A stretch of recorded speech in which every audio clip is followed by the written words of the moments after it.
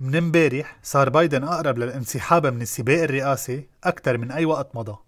كل وجوه الحزب الديمقراطي اللي راهن على دعمه عم تضغط عليه لينسحب. الرئيس السابق باراك أوباما أهم وجوه الحزب الديمقراطي المؤثرة بالسباق الانتخابي أبلغ المقربين منه أنه بايدن لازم يعيد النظر بترشيحه.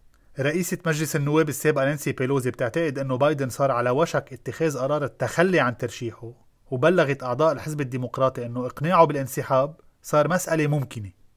أما بالكونغرس كترت أصوات الديمقراطيين المطالبين باتخاذ هالخطوة. وزعيم الأغلبية الديمقراطية بمجلس الشيوخ نقل لبايدن هواجس ممثلي الحزب بالمجلس تجاه استمرار ترشيحه وشجعوا على الانسحاب كخيار أفضل للبلد وللحزب الديمقراطي. بعد إصابته بكورونا انعزل بايدن بالبيت وهالعزلة ما بتساعده على تبديد الهواجس وما حتخليه يقوم قريبا بأي حركة بتطمن الجمهور الأمريكي على قدراته وإجت محاولة اغتيال ترامب لترفع شعبية منافسه بشكل كبير وصارت الشكوك بصحة بايدن عائق أساسي عم يمنع الديمقراطيين من خوض معركة جدية.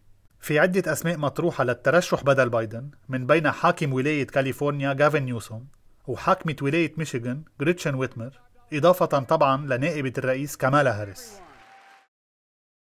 الأرجح أنه هيك أسماء بديلة هي اللي خلت الجناح اليساري بالحزب مثل السيناتور بيرني ساندرز والنائبة ألكسندرا أوكاسيو كورتيز يطالبوا بالتركيز على دعم بايدن بدل الضغط لانسحابه لأنه هالجناح ما قادر يلاقي مرشح أقرب لأولوياته من بايدن ومتخوف من أي تبديل ممكن يزيد حظوظ ترامب بالانتصار.